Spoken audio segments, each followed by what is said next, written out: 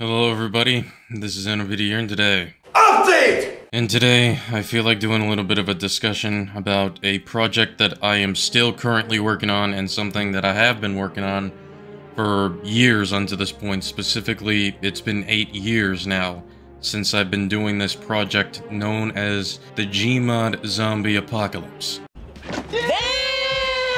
It's honestly hard to imagine that I've been doing this series for 8 years. Because the last time I've checked, I've been doing it for 6 years, and as a celebration for 6 years, I decided making the remastered or remake or whatever you like to call it series, pretty much doing it all over again, and this time making it 10 times better than it originally was. I mean, to be honest, my older videos of that weren't really that great.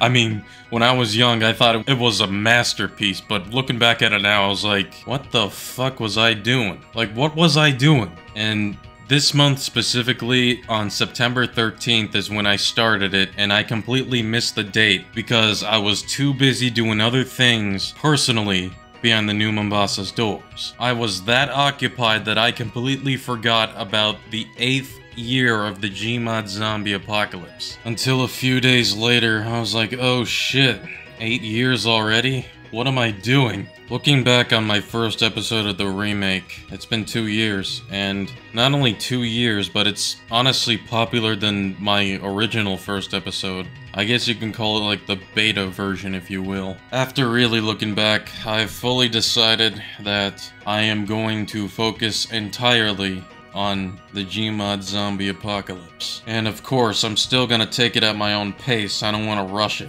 And not only that, on my recent post on the community tab, I've explained a little bit that somehow, someway, I have lost all of my screenshots for my next episode that I'm still currently working on, but luckily, I haven't really done much of it, I've only done like the first scene and that's about it. And also, not only that, luckily, as well, the scenes that I've had on Garry's Mod were still saved. The thing that hasn't been saved were the screenshots that I took.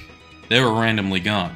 It's kind of hard to explain how it happened, but it kind of happened the same way that it happened to my older computer that died for about 10 months at this point, and I've had th this new computer for 10 months, and now it's slowly starting to have its symptoms with the older one that I've had. Uh, I really hope that's not really the case, but I'm starting to really kind of think that that's the case, so that's also another reason why I'm continuing it on fully too, and I mean, if it does happen again, just in case, I will back up everything, and this time I'm gonna really be sure to back up everything. And honestly, that's about it for this video. I don't want to take too much of anybody's time. I just want to get this over with and let everybody know what I'm doing right now. I am still currently working on Gmod content, but it is gonna take some time. If you want to see more Gmod content, then be sure to leave a like on this video, comment what you think, and, uh, and subscribe for more. Yeah, that's about it.